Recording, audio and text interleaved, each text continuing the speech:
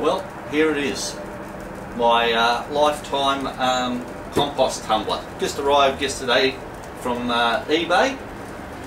And uh, yeah, 80 gallon, 300 litre. Um, hopefully will turn uh, my garden waste and veggie scraps into compost quite quickly.